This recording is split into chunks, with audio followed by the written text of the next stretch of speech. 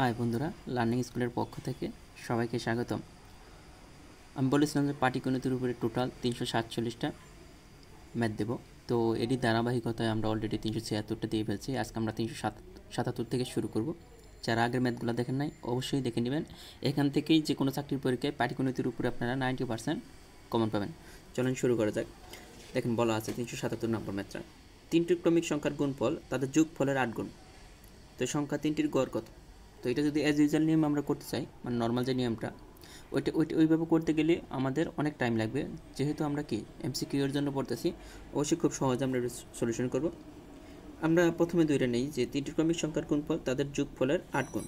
Suppose আমরা ধরে নিলাম যে থ্রি ফোর ফাইভ তিনটা ক্রমিক সংখ্যা। এই তিনটার যোগফল আপনারা নির্ণয় করে ফেলেন। তাহলে সাত, পাঁচ, বারো। এখন এই তিনটা গুণফল নির্ণয় করে, করেন। দেখেন যে এইটার কয় গুণ বলছে? আট গুণ হয় কিনা? তো চার পাঁচা বিশ, তিন বিশ ষাট।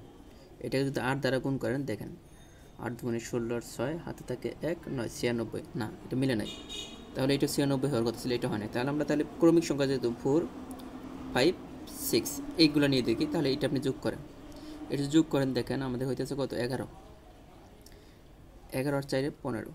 আর এগুলোর গুণ পড়লেন, যদি আট গুণ হয়, তাহলে আমরা বাবু সংখ্যা এইগুলোই তো চার পাঁচা বিশ, ছয় বিশ হইতেছে একশো বিশ। এটাকে যদি আপনি কয় দ্বারা গুণ করেন? দেখেন আমাদের বলছে আট গুণ। আট দ্বারা গুণ করলে যদি একশো বিশ হয়, তাহলে আমাদের মিলে গেল। তাহলে আমরা আট দ্বারা গুণ করে দেখি। পাঁচ আটা চল্লিশের শূন্য, হাতে থাকে চার। আট চার বারো দেখেন মিলে গেছে। তার মানে আমাদের ক্রমিক সংখ্যাগুলো কি? চার, পাঁচ, ছয়। বলছে সংখ্যা তিনটির গড় কত এখন? এই সংখ্যা তিনটার গড় চাইছি। যে সংখ্যা চার, পাঁচ, ছয়। সংখ্যা বেরলে এদের গড়। তার জন্য এগুলোর যোগফল আমরা জানি পনেরো। যেহেতু তিনটা সংখ্যা, তাহলে তিন দ্বারা কী করতে হবে? ভাগ করতে হবে। বলছে সংখ্যা তিনটির গড় কত? তাহলে চার, পাঁচ। তাহলে হইতেছে কত? ফাইভ আমাদের অ্যান্সার কিন্তু ফাইভ অলরেডি হয়ে গেল। এই ছিল অঙ্কটা। আমরা টেকনিকের মাধ্যমে করে ফেললাম। এরকম আপনি ধরে নেবেন, সমস্যা নাই। তিন, চার, পাঁচ বা তিন হ্যাঁ। চার পাঁচ ছয় বা এটিও যদি না বুঝতে তাহলে আমরা তখন পাঁচ ছয় সাত ক্রমিক সংখ্যা মানে একটার পরে আটটা থাকবে, কোনো গ্যাপ থাকবে না। তো চলুন আমরা পরের ম্যাথটা শুরু করা যাক। দেখেন এখানে কি বলা আছে? আমাদের এই ম্যাথটা বলা আছে, দেখেন যে এখানে বলা আছে যদি রিক্সা ভাড়া ষাট পার্সেন্ট বৃদ্ধি পায়, তবে রিক্সায় যাতায়াত শতকরা কত ভাগ কমালে ব্যয় বৃদ্ধি পাবে না? এই ধরনের অঙ্ক আগেও সমাধান করা হয়েছে, যদিও এটা না, অনেকবার আর সেই জন্য নিয়ে আসা। কিন্তু এই ধরনের সমাধান করা হয়েছে। দেখেন রিক্সা ভাড়া ষাট পার্সেন্ট বৃদ্ধি পেয়েছে সাপোজ আগে রিক্সা ভাড়া ছিল একশো পার্সেন্ট বর্তমানে হয়ে গেছে তাহলে কত? একশো, আগে ছিল একশো টাকা, এখন হয়ে গেছে কত? ষাট পার্সেন্ট বৃদ্ধি পাওয়া একশো ষাট টাকা। এখন সে চাইতেছে যে যাতায়াত কমিয়ে দেবে। যাতায়াত কমিয়ে দেবে, কিন্তু সে একশো টাকার উপরে কী করতে পারবে না? খরচ করতে পারবে না। তাহলে তাকে দেখেন, এখন তো আগে যেখানে একশো টাকা দিয়ে যে যতটুকু যাতায়াত করতে পারতো, এখন একশো ষাট টাকা লাগে। তাহলে একশো ষাট টাকায় তাকে কমাতে হবে কয় টাকা? ষাট টাকা। তাহলে এক টাকায় কমাতে হবে ষাট বাই একশো ষাট, তাহলে আমাদের একশো টাকায় কমাতে হবে মানে শতকরা চাইছে, তাহলে অবশ্যই এটা গুণ হবে, দেখেন।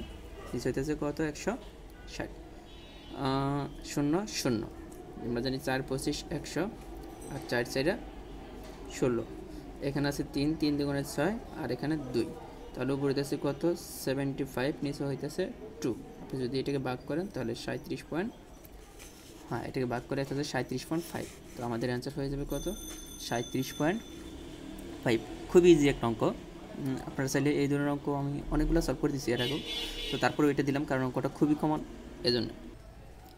পরের অঙ্কটা দেখেন এখানে বলা আছে যে, চাকরি পাওয়ার সম্ভাবনা ফোর বাই ফাইভ হলে চাকরি না পাওয়ার সম্ভাবনা কত? এটা সম্ভাবনা থেকে আসছে। যদি সম্ভাবনার অঙ্ক আমরা বিস্তারিত আলোচনা করিনি।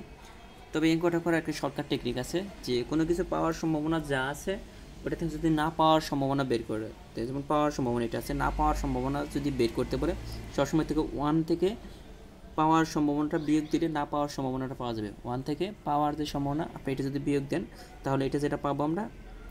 না পাওয়ার সম্ভাবনা, তাহলে ওয়ান বাই ফাইভ তাহলে এটা না পাওয়ার সম্ভাবনা চারটি পাওয়ার সম্ভাবনা যদি হয়, না পাওয়ার সম্ভাবনা। তাহলে আমরা বেসিকটা কী দেখলাম যে কোনো কিছু পাওয়ার সম্ভাবনা যা দেওয়া থাকবে, পাওয়ার সম্ভাবনা যদি দেওয়া থাকে ওয়ান থেকে যদি বিয়োগ করে দিই, ওইটা পাওয়ার সম্ভাবনাটা বিয়োগ করে দিই, তাহলে না পাওয়ার সম্ভাবনাটা আমরা পেয়ে যাব। যেটা আমরা এই অঙ্কে পেয়ে গেছি, যে না পাওয়ার সম্ভাবনা কত? খুবই কমন অঙ্কটা। এই জন্য আসে পরীক্ষায় বারবার। দেখেন পরের অঙ্কটা। একটি চালের গুদামে গুদামে চারশো কেজি চাল মজুদ আছে। মানে চারশো কেজি চাল আছে। মালিক বিশ টাকা কেজি দরে আশি পার্সেন্ট চাল বিক্রি করে, বিক্রি করেন, তার মোট বিক্রয় মূল্য কত? এখানে বলা আছে যে একটি চালের গুদামে চারশো কেজি চাল আছে। তো চারশো এর আশি পার্সেন্ট সে বিশ টাকা কেজি দরে বিক্রি করে। তাহলে সে কত টাকা বিক্রি করছে মোট? তো আমরা দেখব যে চারশো এর আশি পার্সেন্ট বিক্রি করে ফেলছে, তাহলে আশি পার্সেন্ট কত কেজি বিক্রি করছে এটা দেখব, চারশো কেজি এর আশি পার্সেন্ট তাহলে চারশো এর এইটটি বাই একশো। আপনি কাটতে পারেন, এই শূন্য এই শূন্য এই শূন্য এই শূন্য। শূন্য, চার এটা বত্রিশ। সে অলরেডি কত? তিনশো বত্রিশ কেজি বিক্রি করছে। তো আমাদের বলছিল যে তিনশো বত্রিশ কেজি বিক্রি করছে, প্রতি কেজি বিক্রি করছে বিশ টাকা করে। এর দাম কত? টোটাল কত টাকা বিক্রি করছে? তাহলে এক এক কেজি দাম যদি বিশ টাকা হয়, তাহলে তিনশো বিশ কেজি দাম কত হবে? এটা গুণ করলে বের হয়ে যাবে, তাহলে দুইটা শূন্য দিয়ে দেন। চার আর তিন দুগুণে ছয়। তাহলে ছয় হাজার চারশো টাকা সে বিক্রি করছে। আসলে অঙ্কটার দিকে মনে হয় কি, অনেক বড় বা অনেক কঠিন। আসলে কিন্তু খুবই ইজি অঙ্কটা। খুব ইজি মানে দেখলেন তো কত সহজে করা যায়, কিন্তু অনেকে হয়তো কোশ্চেনটা দেখে ভাববে যে কন্ডিশনগুলো হয়তো কঠিন। আসলেও কিন্তু কিচ্ছু না। জাস্ট আপনি কোশ্চেনটা পড়তে হবে, পরে বুঝতে হবে যে আসলেও কী চাইছে।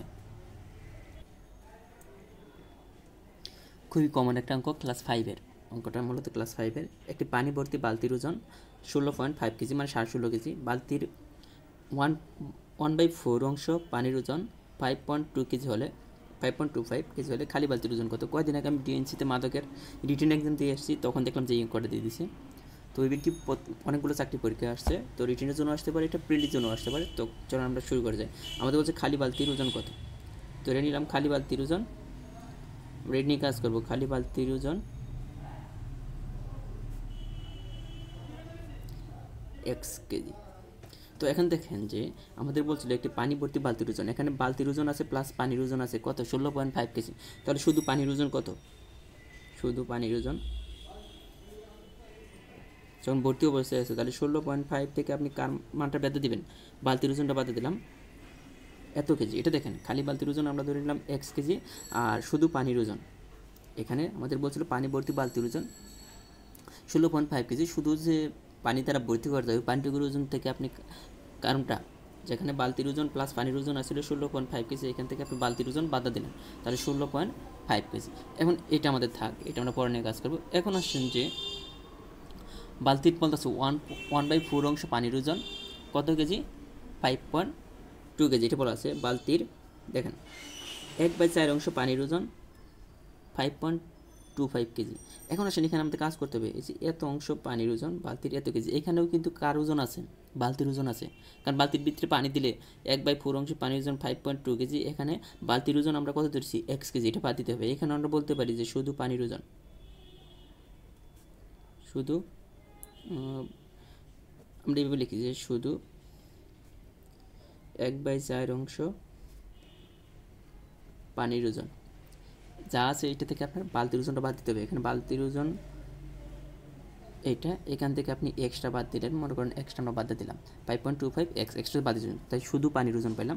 তো শুধু এত অংশ, আমরা এক বা সম্পূর্ণ অংশ, এক বা, এখন আমরা যদি সম্পূর্ণ অংশ পানির ওজন বের করতে চাই, তাহলে এটা বাগার উপর যে কী হবে? গুণ হবে। তাহলে four into five point two five minus X এখন আপনি যদি, এটা যদি ফাইভ দ্বারা গুণ করে দেন, এটা হইতেছে কত? চার পয়েন্ট একশো একুশ, তার মানে একুশ মাইনাস ফোর এক্স। এটা হয়ে গেল। এটা দেখেন, সম্পূর্ণ। এখানেও কিন্তু কী ছিল? খালি এই যেটা, দেখেন, শুধু পানির ওজন ছিল কত কেজি? ষোলো point five into X KG. এখানেও কি? সম্পূর্ণ অংশের পানির ওজন হইতেছে কি? শুধু পানির ওজন, একুশ মাইনাস ফোর এক্স। আর এখানে ষোলো পয়েন্ট ফাইভ মাইনাস এক্স, আর এখানে একুশ মাইনাস ফোর এক্স। এই দুটো কিন্তু পরস্পর সমান, কারণ এইটাও শুধু পানির ওজন, ভর্তি বালতির যতটুকু পানি ধারণ করতে পারে সম্পূর্ণ পানির ওজন এটা, এটাও। তাহলে আমরা শর্ত মধ্যে লিখতে পারি এই দুটো সমান। তো দেখেন শর্ত মতে কত? ষোলো পয়েন্ট ফাইভ মাইনাস এক্স সমান লিখতে পারি কত? একুশ মাইনাস ফোর এক্স এটা আমরা লিখতে পারি ষোলো পয়েন্ট ফাইভ মাইনাস এক্স একুশ মাইনাস ফোর এক্স তো আমরা ওইটাই সেট নিয়ে আসি minus X plus four X আর এখানে একুশ মাইনাস ষোলো পয়েন্ট ফাইভ। এখানে দেখেন আমাদের থাকতেছে থ্রি এক্স আর এখানে যদি আপনি বিয়োগ করেন তাহলে ফাইভ আর আমাদের হচ্ছে ফোর তাহলে আমাদের এক্সের মানটা বের করতে হবে, যেটা আমাদের বালতির ওজন four point five by five দেখেন ফোর পয়েন্ট না সরি থ্রি ছিল। তো থ্রি যায় একবার তিন পয়েন্ট তিন পাঁচে পনেরো, তাহলে ওয়ান পয়েন্ট ফাইভ এই ছিল আমাদের অঙ্কটা, একটু বড় অঙ্কটা। অঙ্কটা যদিও একটু বড়, কিন্তু আপনাদের অঙ্কটা করতে হবে। এটা রিটেনেও আসে প্লাস রিটেনে আসলে এইভাবে করতে পারেন, পিডিতে পিডিতে আসলেও আপনি এইভাবে করবেন। এত কিছু করার দরকার নেই, পিডিতে আসলে আপনি তো মনে মনে ধরে না বালতির ওজন এত কিছু, শুধু পানির ওজন করতে এত।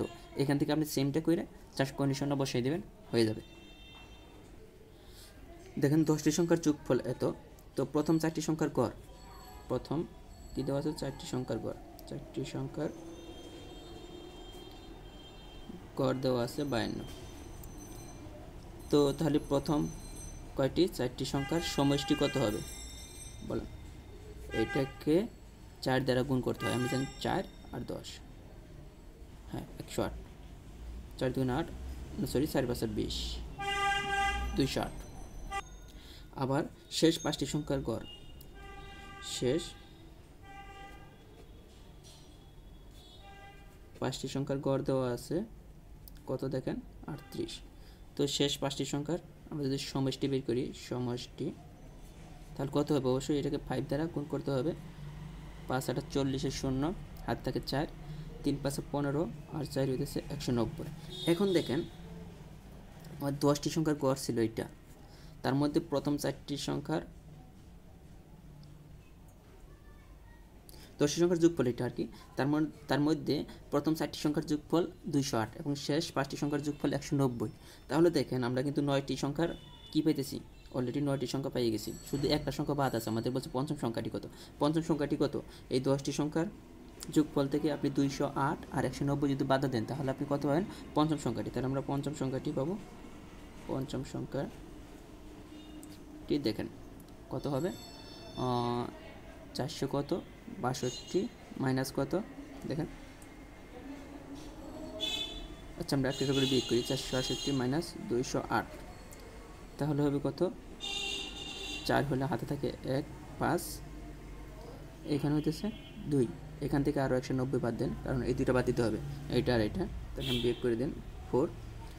আর নয় আছে, পনেরো হবে, ছয় হলে। তো এটা মিলে গেছে, তাহলে আমাদের হইতেছে কত? অ্যান্সার হইতেছে কত? দেখেন চৌষট্টি। আমরা জাস্ট বিয়োগ করে দিছি। এই টোটাল যে ছিল চারশো বাষট্টি চারশো বাষট্টি থেকে দুইশো আট আর একশো নব্বই যদি বিয়োগ করে দেন, তাহলে আপনি পঞ্চম সংখ্যাটি পেয়ে যাবেন। এই ছিল আজকের মতো ভিডিও তিনশো বিরাশিটা দিয়ে দিলাম।